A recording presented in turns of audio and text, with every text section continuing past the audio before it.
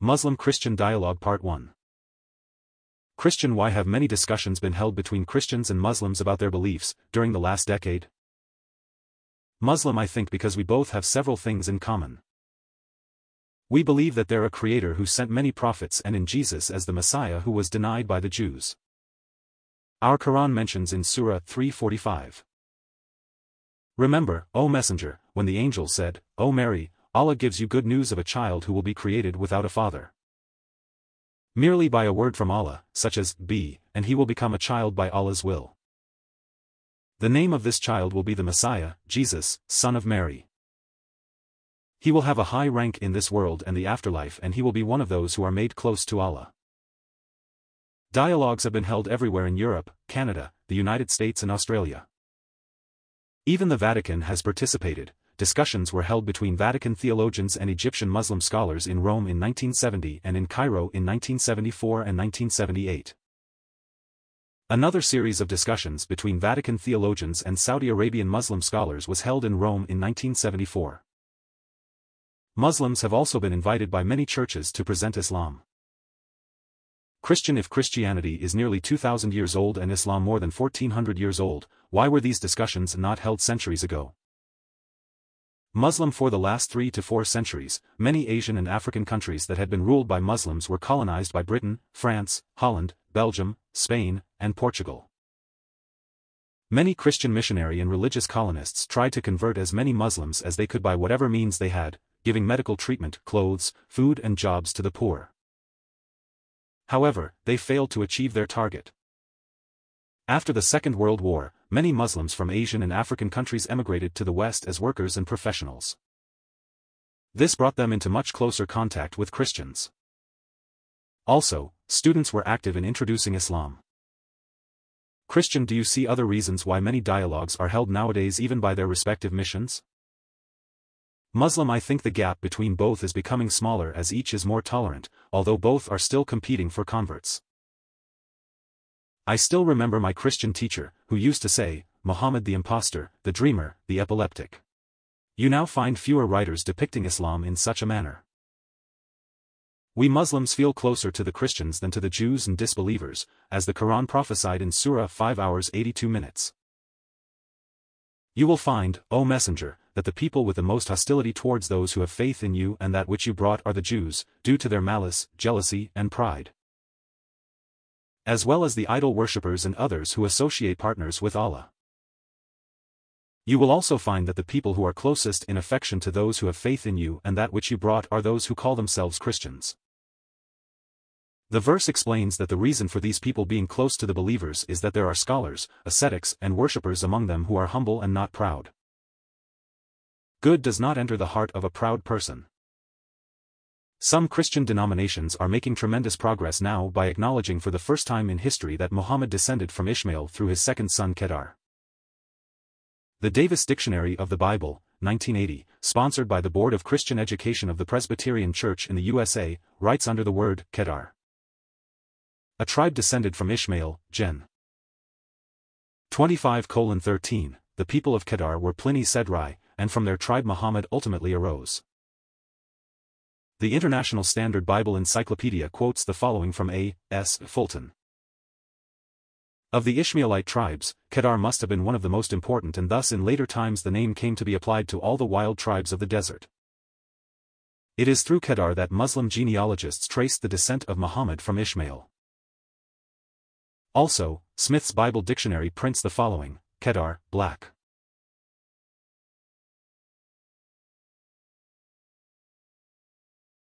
Second son of Ishmael, Genesis 25 verse 13. Muhammad traces his lineage to Abraham through the celebrated Quraysh tribe, which sprang from Kedar. The Arabs in the Hijaz are called Bani Harb, men of war, and are Ishmaelites as of old, from their beginning. Palgrave says, their language is as pure now as when the Quran was written, 610 after Jesus' birth, having remained unchanged more than 1400 years. A fine proof of the permanency of Eastern institutions. The biggest asset brought by Muslim immigrants to the West is not their manpower but Islam, which is now taking root here.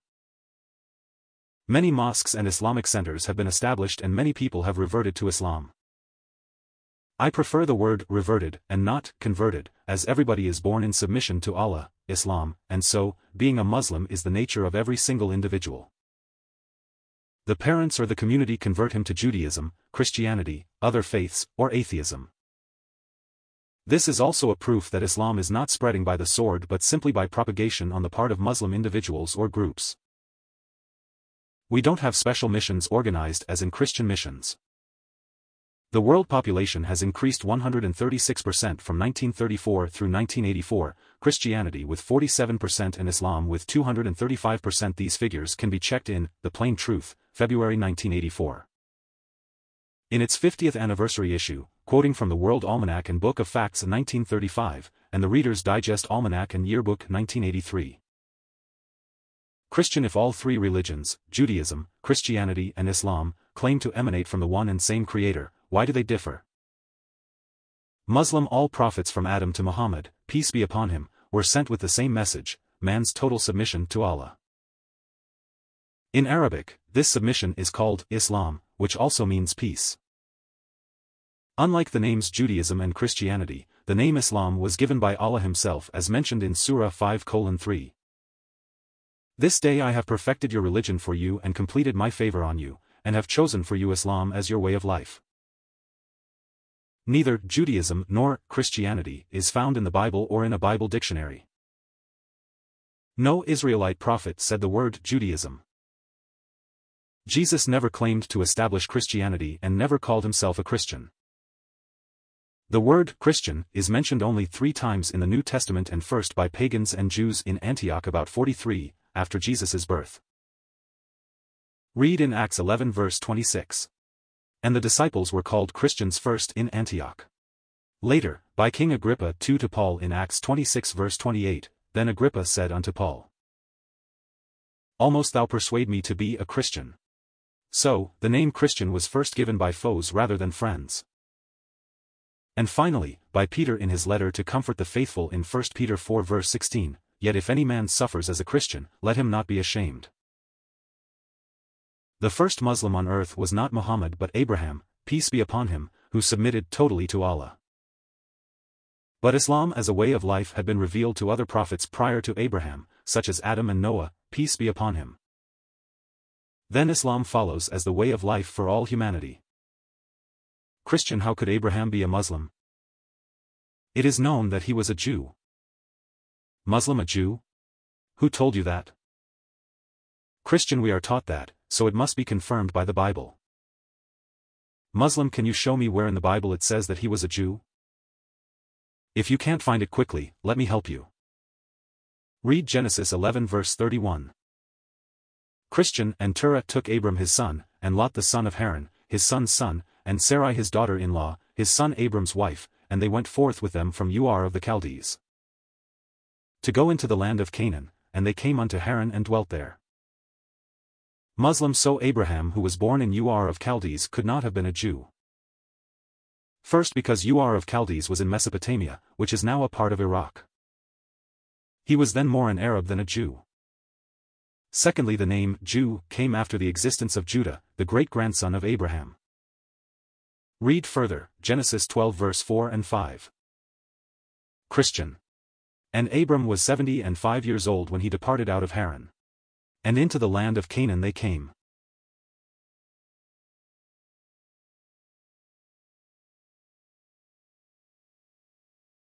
Muslims so Abraham emigrated to Canaan at the age of 75 and the Bible clearly mentioned that he was there a stranger, in Genesis 17 verse 8.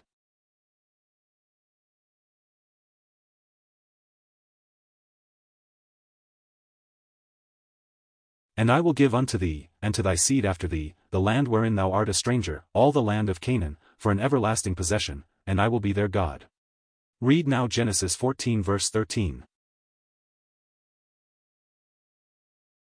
Christian and there came one that had escaped, and told Abram the Hebrew.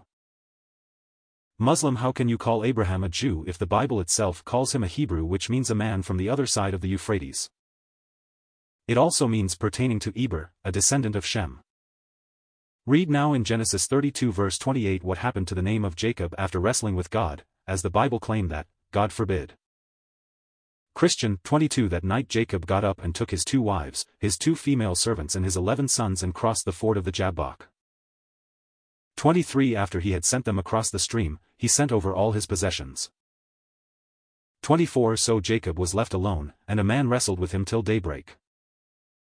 25 When the man saw that he could not overpower him, he touched the socket of Jacob's hip so that his hip was wrenched as he wrestled with the man. 26 Then the man said, Let me go, for it is daybreak. But Jacob replied, I will not let you go unless you bless me. 27 The man asked him, What is your name? Jacob, he answered. 28 Then the man said, Your name will no longer be Jacob, but Israel, because you have struggled with God and with humans and have overcome. 29 Jacob said, Please tell me your name. But he replied, Why do you ask my name? Then he blessed him there. 30 So Jacob called the place Peniel, saying, It is because I saw God face to face, and yet my life was spared. And he said, Thy name shall be called no more Jacob but Israel. For as a prince hast thou power with God and with men, and hast prevailed. Muslim So Abraham was a Hebrew. The descendants of Jacob were Israelites consisting of the twelve tribes. Judah was nicknamed Jew so that only Judah's descendants were called Jews originally. To know who Moses really was, read Exodus 6 verses 16 to 20. Christian, and these are the names of the sons of Levi according to their generations. Gershon, and Kohath, and Merari. And the sons of Kohath, Amram. And Amram took Jochebed, his father's sister to wife, and she bore him Aaron and Moses. Muslim So Moses was not a Jew, because he was not descended from Judah but a Levite. Moses was the lawgiver, Torah is law, to the children of Israel. Christian how can you explain that? Muslim because we are using the Noble Quran as standard. You can explain the Bible and correct the Jewish and Christian prejudice with the context of the Quran. It is the last revealed book and has never been corrupted or adulterated. Its content has been guaranteed by Allah in Surah 2:2, this is the Quran, in which there is nothing of any doubt, neither in terms of its origin, nor in terms of its meaning. It is the word of Allah, guiding those who are mindful of Allah to the way that leads to Him. And also in Surah 15:9, I alone revealed this Quran to the heart of Muhammad, peace be upon him, as a reminder for people. I will guard the Quran from anything being added to it or subtracted from it, or anything in it being exchanged or altered. This verse is a challenge to mankind. It is a clear fact that more than 1400 years have passed and not a single word of this Quran has been changed although disbelievers tried their utmost to change it. But they failed miserably in their efforts. As it is mentioned in this noble verse, we will guard it, by Allah, He has guarded it. On the contrary, all the other holy books, Torah, Psalms, Gospel etc., have been adulterated in the form of additions, deletions or alterations from the original. Christian what does the Quran say about Abraham and Moses that you can deduce from the Bible? Muslim in Surah 3 hours 65 minutes. O people of the scripture, why do you dispute about the belief of Abraham? The Jews claimed that he was a Jew and the Christians claimed he was a Christian. You know very well that Judaism and Christianity appeared a long time after him.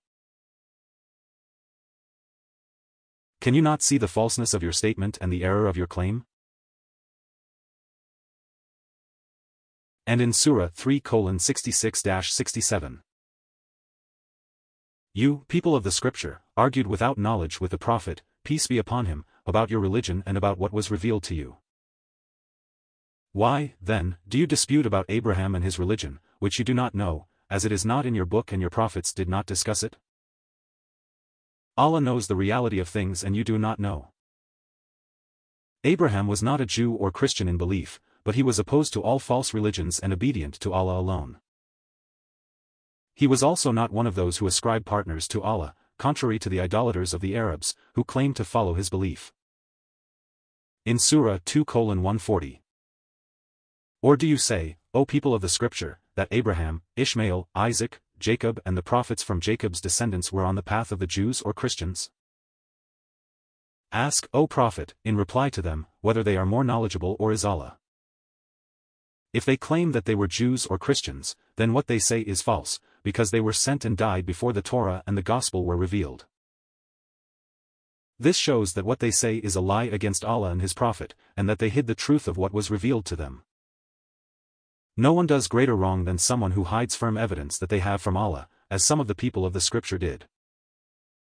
Allah is not unaware of what you do, and you will be rewarded accordingly. Of course, they were not Jews or Christians, as the name Jews came after Judah and the name Christians came long after Jesus had left. Christian it feels strange to hear the name Allah. Why don't you say God if you speak English? Muslim yes, indeed, the name Allah seems to be strange to non-Muslims, but this name has been used by all prophets since Adam until Muhammad, peace be upon him. It is close to the Hebrew name of the Creator, i.e. Gilo. But the Jews are using wrongly the plural form Elohim, which denotes more than one God. The word Allah sounds closer to the Aramaic word for God used by Jesus, namely, Allah, see Encyclopaedia Britannica 1980 under Allah and Elohim. So, while the name Allah is strange to non-Muslims, it is not strange to all prophets from Adam to Muhammad, peace be upon him. As they propagated in principle the same Islam, total submission, and the word Allah denotes the personal name of the Supreme Being.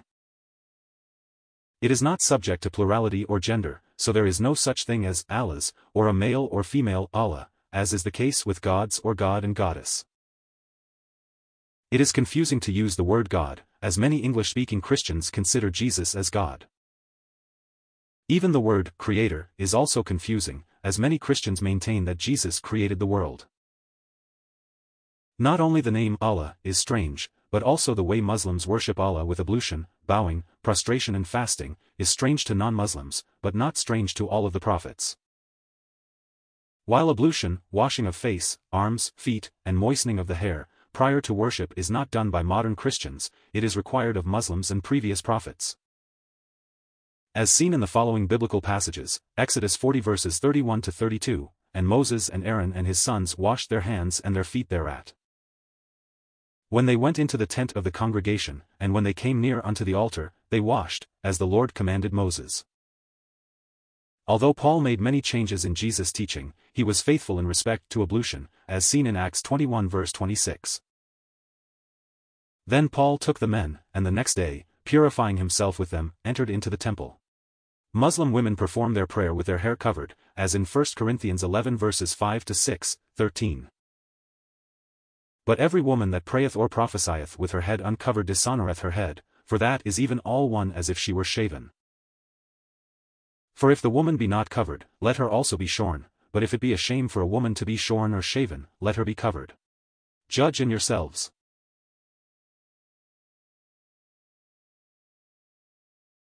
Is it comely that a woman prays unto God uncovered?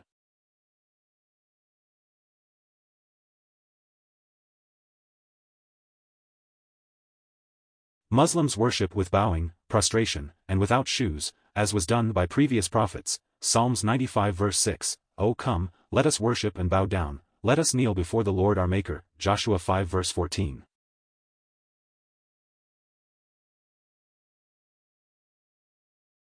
And Joshua fell on his face to the earth, and did worship, 1 Kings 18 verse 42, and Elijah went up to the top of Carmel, and he cast himself down upon the earth, and put his face between his knees. Numbers 20 6. And they, Moses and Aaron, fell upon their faces, and the glory of the Lord appeared upon them, Genesis 17 verse 3, and Abram fell on his face. And God talked with him, saying, and Exodus 3 verse 5 and Acts 7 verse 33, and he, God, said, to Moses, Draw not nigh hither. Put off thy shoes from off thy feet, for the place whereon thou standest is holy ground. A Christian will be very surprised to learn that the pilgrimage, Hajj, which consists of Muslim circumambulation around the Kaaba in Mecca, had been performed by many prophets, even by Israelite prophets. Christian I never read anything about the pilgrimage or the Kaaba in the Bible. Muslim this has been mentioned clearly several times but is usually overlooked by those who read the Bible. For example, 1. Jacob, peace be upon him, on his way to Padan Aram, saw a vision and built the next morning a pillar of stone which he called Bethel, i.e. the house of the Lord, Genesis 28 verses 18 to 19. 2. Years later the same prophet, Jacob, peace be upon him, was ordered by Allah to go to Bethel, Genesis 35 4, 14-15. Jacob removed all of the strange gods prior to going there. Later, Prophet Muhammad, peace be upon him, also removed all idols around the Kaaba in Mecca. 3. Another pillar was built by Jacob, peace be upon him, and his father-in-law, Laban, Genesis 31 verses 45 to 49 And Jacob took a stone, and set it up for a pillar. And Jacob said unto his brethren, Gather stones. And they took stones, and made a heap, and they did eat there upon the heap. And Laban called it Jegar but Jacob called it Gilead. Laban said, This heap is a witness between you and me today. That is why it was called Gilead. It was also called Mizpah, because he said, May the Lord keep watch between you and me when we are away from each other. 4. Jephthah and Ammon had a war against each other. Jephthah swore to the Lord in Mizpah of Gilead to sacrifice his only daughter if he won. He did win, and burnt his daughter there alive as an offering to the Lord, Judges 11 verses 29 to 39. Mizpah, a pillar of stones set up by Jacob and Laban. The pillar of stones acted as a witness to the bond between the two men. As Laban said, the Lord watch between you and me. 5. 400,000 swordsmen from the eleven tribes of Israel swore before the Lord in Mizpah to exterminate the tribes of Benjamin, Judges 20 and 21. 6. The children of Israel, under Samuel, swore in Mizpah to destroy their idols if they won against the Philistines, 1 Samuel 7. 7. The whole nation of Israel assembled in Mizpah when Samuel was appointed king of Israel, 1 Samuel 10. It is obvious now that there is no Mizpah left in the world, except the oldest one in the holy city of Mecca built by Abraham and his son Ishmael. From whom Prophet Muhammad, peace be upon him, arose later. Muslims are really the followers of all prophets. I can tell you other things about Muslims, Islam and Muhammad in the Bible, but why should you know this if you are not looking for the truth? Christian I am sure of my own belief as a Christian but I would also like to know more about both religions. I sometimes feel ridiculed as a Christian after reading books written by Muslims. Muslim did it affect you in your religious life? Christian yes. I am not going to church as regularly as before. I have been secretly reading books written by Muslims. I have asked several Muslims to explain matters that were not clear to me, but have not yet been satisfied. I am looking for a belief that I can rely on, that can give me peace of mind, that is scientifically acceptable, and one that I don't have to believe in blindly.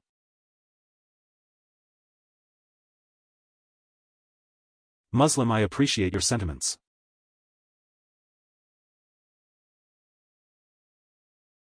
However, as we are not allowed to force people to become Muslim, I want to be sure that you are really interested in learning the truth before I continue. Christian you mean that I can believe what I want and that nobody can force me to believe in something else? Muslim yes, for the Quran says that there is no compulsion in religion. No one is forced to enter the religion of Islam, as it is clearly the true religion and there is no need to force anyone to believe in it. Truth stands clear from falsehood. Whoever rejects all those things that are worshipped besides Allah and frees himself from them, and has faith in Allah alone, has held on to the strongest rope for salvation on the day of resurrection and which will never break.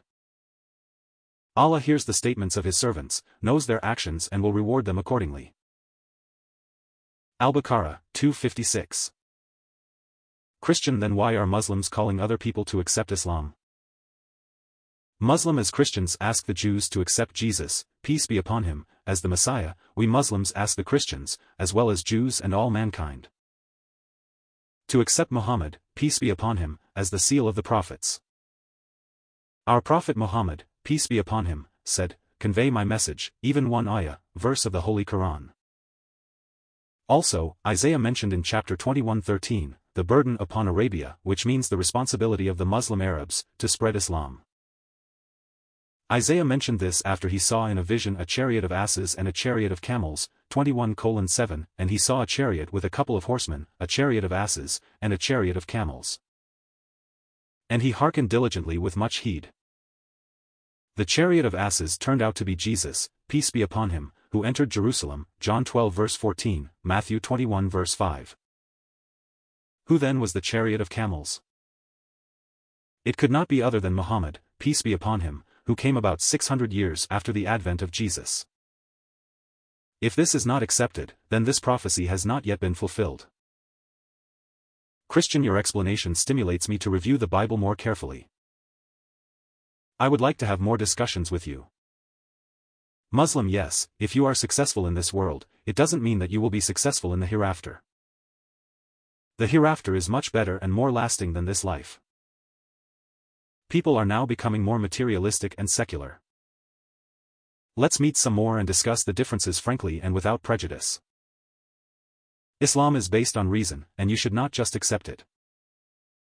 Even your Bible says, prove all things, hold fast that which is good, 1 Thessalonians 5 verse 21. Christian you mentioned just now a chariot of camels, from Isaiah and drew the conclusion that it was Muhammad. Is he then prophesied in the Bible? Muslim sure. Christian in the Old or New Testament. Muslim in both. But you cannot recognize him in the Bible as long as you don't believe in the oneness of God, as long as you still believe in the Trinity, the divinity of Jesus, peace be upon him. The divine sonship of Jesus. And the doctrines of original sin and atonement. All of these were made by men. Jesus mentioned what Isaiah had prophesied that people would worship God uselessly and believe in doctrines made by men. But in vain they do worship me teaching for doctrines the commandments of men, Matthew 15 verse 9.